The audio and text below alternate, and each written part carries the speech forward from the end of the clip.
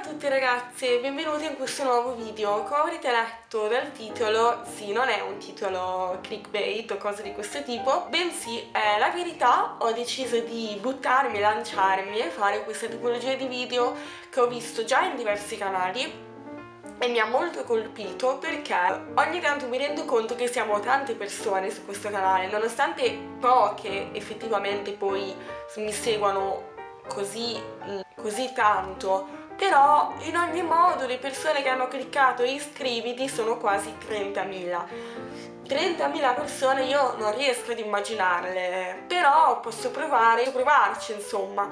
E uno dei modi in cui io vi immagino è una, una massa di gente che, che, mi ascolta e che guarda i miei video.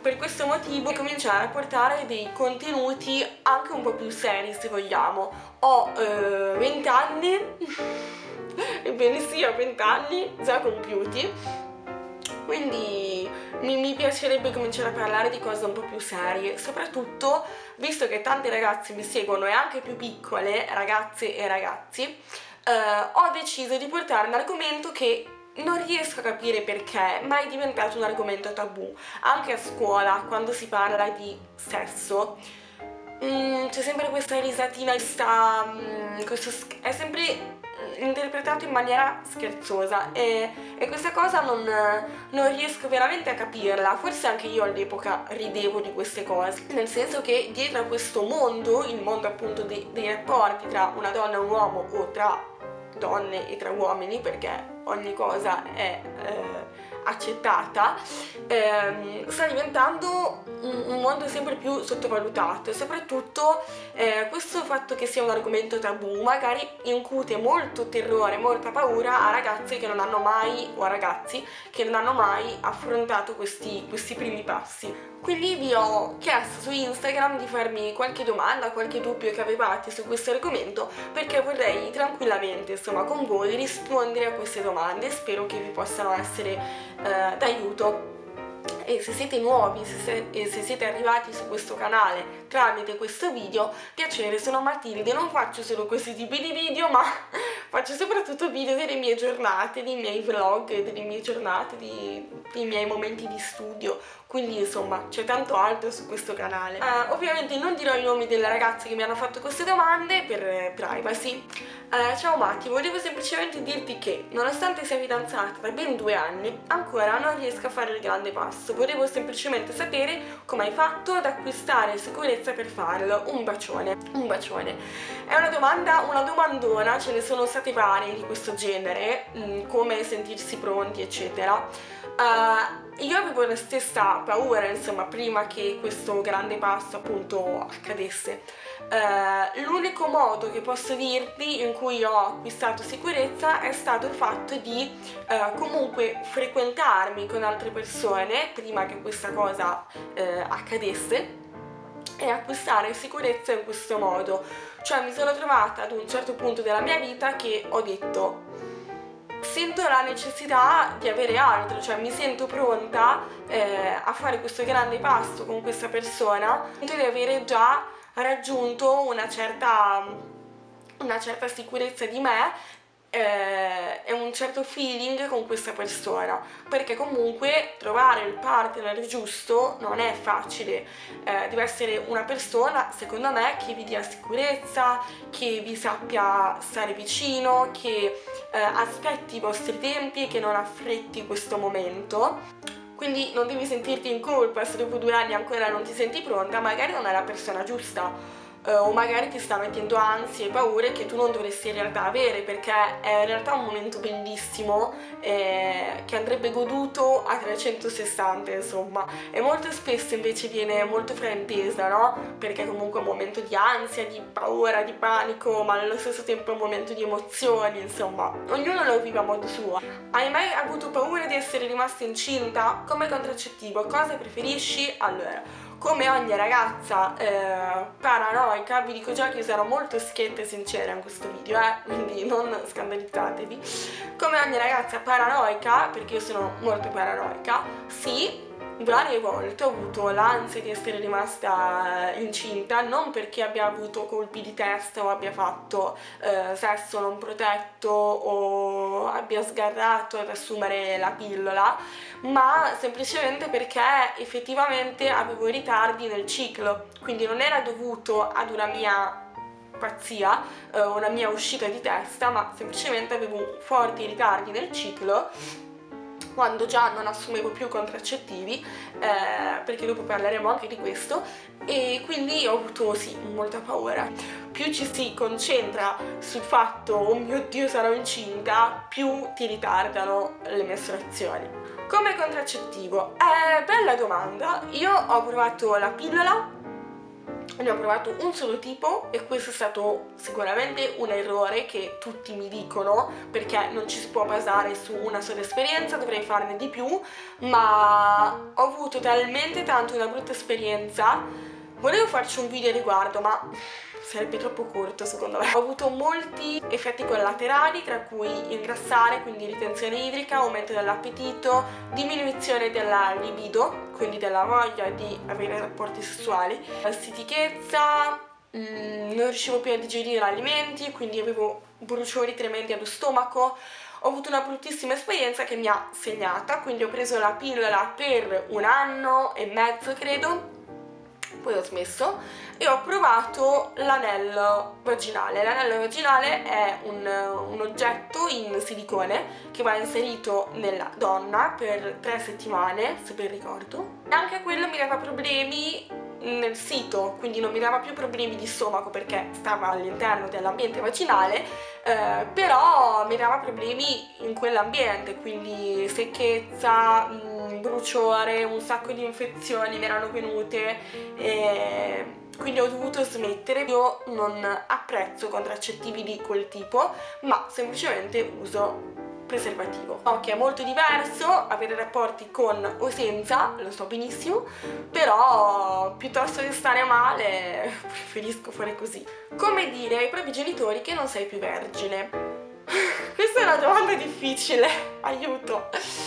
Per quanto la mia esperienza, per quanto mi riguarda, eh, successe non che io tipo dissi mamma, papà, vi devo dire una cosa. No, ero tipo in un argomento simile con mia mamma, ero comunque piccolina e niente, semplicemente uscì l'argomento, una, una frase del tipo vabbè quando sarà il momento poi succederà e io la guardai tipo forse il momento è già arrivato mamma e mi guardò tipo cosa? no, non si arrabbiò, però ci rimase un po' male sul momento.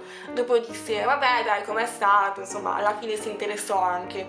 Quindi in realtà non c'è un momento eh, preciso per dirlo, secondo me. Se avete un buon rapporto con i vostri genitori, soprattutto con la vostra mamma, o per i maschi con vostro papà, magari se esce il discorso della ragazza o del ragazzo, eh sì, insomma, sai, certi momenti accadono quando uno se la sente, dopo loro capiscono e vedrete che non, non sarà nulla di traumatico. Quanto è durata la tua prima volta? La prima volta è durata, credo, mm, sui 30 minuti, 20-30 minuti, ma per un motivo molto semplice che... Eh, è un momento particolare in cui avviene un forte cambiamento perché appunto avviene la rottura dell'imene, la struttura che si trova appunto all'interno di una persona che appunto è ancora vergine, quindi è un momento un po' anche doloroso se vogliamo, dipende dalle persone, perciò fidatevi che mm, c'è molto meglio, quello è soltanto l'inizio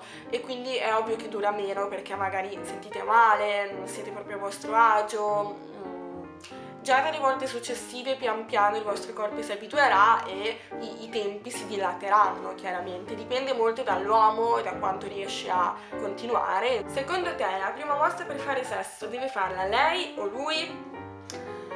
può venire da entrambe le parti, secondo me molto spesso viene dalla parte maschile e poi la parte femminile accetta o declina l'invito a farlo. Eh, nel mio caso è avvenuto da entrambe le parti, nel senso che c'è stato un momento di intesa in cui si è detto a me va, anche a me, mi sento pronta, ok, facciamolo. Un momento in cui entrambi volevamo, insomma.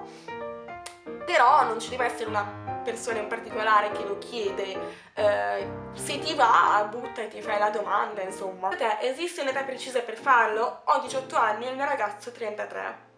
E poi esiste un limite di frequenza per farlo?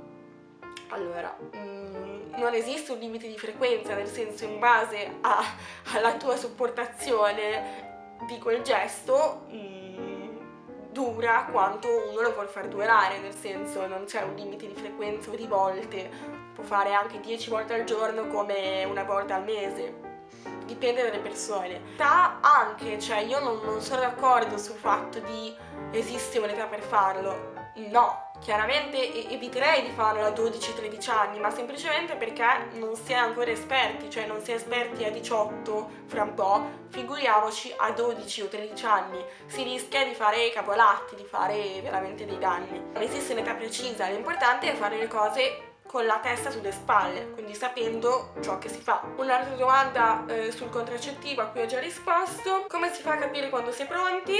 Quindi già sarà la mia prima volta e ho paura di non essere in grado o di non sapere come comportarmi. Lui lo sa e è disposto ad aspettarmi perché sa che è una cosa grande e ne abbiamo già parlato e mi ha detto di non preoccuparmi. E allora, top.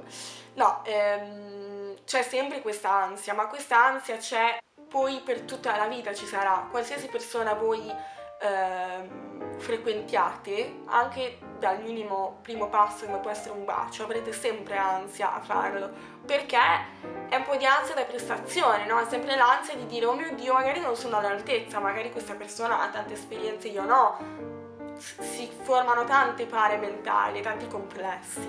In ogni modo, per quanto riguarda il fatto di ho paura di non essere all'altezza e di non sapere comportarmi, non ti preoccupare, nel senso che se il tuo ragazzo l'ha già fatto, sicuramente ti indirizzerà lui verso le azioni che dovrai fare, ma comunque non è un obbligo saper fare certe cose, perché alcune cose si imparano soltanto con l'esperienza. No. Per quanto mi riguarda è stato così, soltanto facendo esperienza, quindi ripetendo tante volte le stesse cose, alla fine si impara e le si perfeziona. Ehm, chiaro che la prima volta immagino neanche io fossi all'altezza di fare certe cose, però è stato bello perché è un momento di condivisione, no? Comunque si cerca di dare il proprio meglio anche in qualcosa che è tutto nuovo. Ultima domanda alla quale rispondo è eh, quando è stata la tua prima volta? Suppongo abbia fatto male, come tutte le prime volte. Allora, la mia prima volta è stata a 16 anni. Eh, abbia fatto male, in realtà mm, no, molti ragazzi dicono oh mio dio ho perso tantissimo sangue, nel mio caso ad esempio no, proprio no, quindi dipende dalle persone. Sì, certamente non è stata una sensazione piacevole, ma perché mh, mm, effettivamente, adesso voi riderete, ma è un luogo che non è abitudine, diciamo, non siete abituate ad avere un corpo estraneo nel vostro corpo.